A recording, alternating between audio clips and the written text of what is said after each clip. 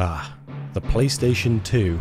A console with so much love poured into its hardware design that Sony seemed to consider all sorts of elements that were missed by many who bought it. A DVD player capable of running some of the best games of its generation wasn't just about what it could do, but what you could do with it. You could even spin the little PlayStation logo on the DVD tray just so the emblem was aligned with however the player oriented their console, if they wanted it laid flat or standing upright. The console held host to a wide array of games for a huge variety of audiences. There was at least one strong contender for any genre on the system that'd make gamers weep with joy. Final Fantasy X, Grand Theft Auto San Andreas, the Tony Hawk's games, or Ratchet & Clank. This console had it all, and everybody wanted it all. These are just a few games we're covering in this video, but we'll start with a franchise that many desperately want a sequel to in our modern age, Time Splitters.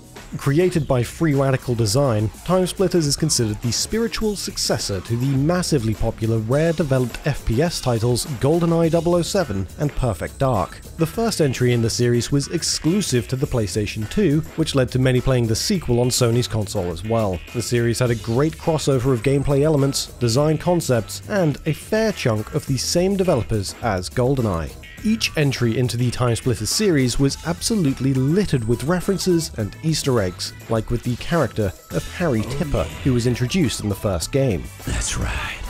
Harry wasn't just an original character, but was named after the former facilities manager at Rare, Alan Tipper, as a sign of respect for their former Rare co worker, and perhaps as a sign of respect for his rather smashing mustache. In the second Time Splitters, the game's first level is set in Siberia, which in itself seems to be a reference to GoldenEye. Both games have their first level set in Russian locations with a focus on a dam, even the alarms for both locations are rather similar.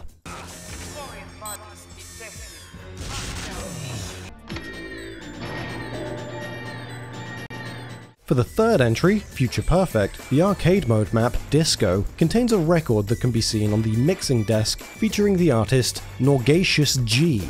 This is a double reference, first to the popular rock duo Tenacious D, but also to the Time Splitters series composer Graham Norgate. Mr. Underwood, featured in the second and third entries, is also the result of a reference, this time to a totally different type of media, to a character of the same name from the popular novel To Kill a Mockingbird by Harper Lee. Harper Lee's character is described as using a double barreled shotgun, as well as a description for his appearance that matches closely to that of Mr. Underwood from Time Splitters. Another memorable series on PlayStation is Ratchet & Clank. One design from Ratchet & Clank Going Commando had to be altered after the team at Insomniac Games found that they'd broken Sony's guidelines. While taking a look around Clank's room, the player may find a gaming console called the Game Pyramid, but at one stage in development, this system was actually just a PlayStation 2 console. However, PlayStation's TRC states that a game is not able to depict a PlayStation 2 system if it's possible to destroy it, and so the team thought about replacing it. At first, they thought about swapping it out for an Xbox, but this also had to be removed, as another guideline stated that devs can't depict a competitive system in the game either. While some titles had small changes during development, other games were unrecognizable when compared to their early builds. Capcom's Onimusha Warlords was the first entry in this new franchise on the PlayStation 2, but it was originally conceived by Yoshiki Okamoto in 1997, when he considered the idea of creating Sengoku Biohazard, a spin-off of Capcom's popular 1996 Resident Evil, but with the twist of introducing ninjas. The game would have been set in the Sengoku period, and events would have taken place in a ninja house littered with booby traps, in a similar vein to that of Resident Evil and the Spencer Mansion. The game's action would have involved close-range combat with swords, and shurikens being used for long-range attacks. The idea would have included a number of fantasy elements as well, including scrolls, ninja magic, and other ninja techniques, while the mansion would have had hidden doors behind walls and ceilings that could fall on the player. This concept actually began life on an entirely different console, originally intended for release on the ill-fated Nintendo 64 add-on attachment, the 64DD. Development was shifted, however, to the original PlayStation before it was eventually moved to the PlayStation 2. This PS1 version was completely dropped halfway through development as a result of the Onimusha team's excitement for the capabilities of the PS2. Now, we all enjoy early assets from video games, right? Debug menus are great. They give us a look at the tools the developers used when they were creating the very game you're playing. Leaving in debug modes can reveal some fun references that would otherwise have been dropped entirely on release. With Tony Hawk's Underground 2, banging game, an option in the game's debug menu grants the player an instant reward of 5 million points being added to their current combo score. Selecting the menu option essentially performs a trick, with the name You Cheat Like Kurt Easter eggs involving Kurt are a running joke at Neversoft, with the name being referenced in both Underground 1 and 2, likely in reference to Kurt Gutierrez, who worked on the game's development team. Another bizarre secret developer mode, though unlikely made for debugging, can be found in the third entry of the Rayman series. Hoodlum Havoc was released in 2003 and was the first release in the main series not to be released for the original PlayStation, with the console being slowly put to bed by this time. However, it seems the devs included a special Easter egg in the game so that those who enjoyed the classic low resolution of the PS1 had the opportunity to continue playing the series in a grainy fashion. In 2021, nearly two decades after the game's release, video game tinkerer Drooly discovered that Hoodlum Havoc includes a secret display mode for the PS2 version of the game, which involved first setting the standard video output to 480p through the progressive scan mode option, and then starting a new game with the profile name PS1. Doing this will cause the game to lower the standard output from 480p to 240p and disable texture filtering, making it more closely resemble a PlayStation game. While this alone is an interesting secret that went undiscovered for several years, there is also another bizarre reference that goes along with it, found within the game's source code.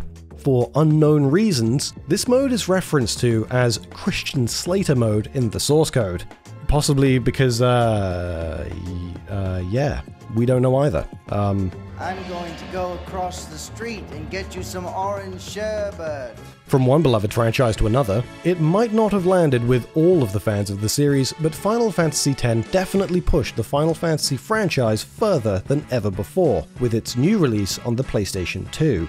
Full voice acting was now a real possibility, and so legendary voice actor John DiMaggio landed his role as Wakka.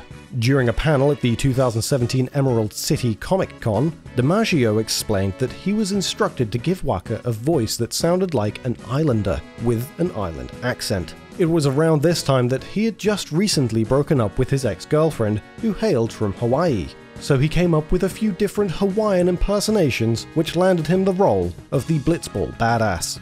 But this isn't the only character with an interesting background. According to a 2001 V-Jump magazine interview with the game's designer, Fumi Nakashima, she stated that her inspiration for the Al Bhed's clothing came from bondage fashion.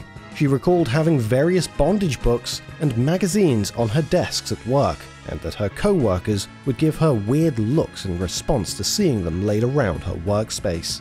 And now that we've pointed out, it's quite hard to unsee it. Although Final Fantasy was popular, there's an undefeated champion of sales when it comes to PS2 games Grand Theft Auto San Andreas. Everybody and their cat knows about the game's removed hot coffee minigame, and the game had another optional activity removed drug dealing. Though this feature was removed, the player is still able to speak with the various drug dealers found in gang territories. But instead of positive interactions, Carl will be fairly direct in telling them to go away. The fact that drug dealing would have been in the game is suggested from three lines of unused text in the game's files referring to a drug's budget, how many had been sold, and how many had been bought. The idea that CJ would be able to participate in the activity of selling drugs doesn't actually line up with the game's plot, however, as throughout the story is a notably strong anti-drug subtext, with CJ and Sweet wanting to make sure that drug dealers stay out of their turf. They even got to the point of murdering their former friends to make that point, and many of the game's missions have the player hinder the movement of drugs throughout San Andreas and Los Santos. This would suggest that drug dealing was dropped early on during development, but references to drugs that did wind up being present in the final release were also subdued when it came to the title's Japanese localization. This includes removing a scene in which Officer Tenpenny takes a hit of a bong, and when Rosenberg is seen doing a line of cocaine. At times, even the game's camera angle is altered to make it easier to hide these references. This does result in some oddities with the game's subtext, as the angle of the main protagonists holding a strong anti drug stance is somewhat subdued through the removal of these elements. Did you also know that actress Kathryn Beaumont, who voiced Alice in Alice in Wonderland at age 13, reprised her role in Kingdom Hearts over 50 years later at the age of 64? Or that there's many PlayStation 2 games that the West never got? For a whole hour of PS2 facts, check out the video on screen. And what do you guys think of a ninja themed Resident Evil like how Onimusha was planned to be? Are you excited about a new Time Splitters release in the future? Let us know in the comments. I really want to play a ninja themed Resident Evil. I didn't know I wanted to until I wrote this script.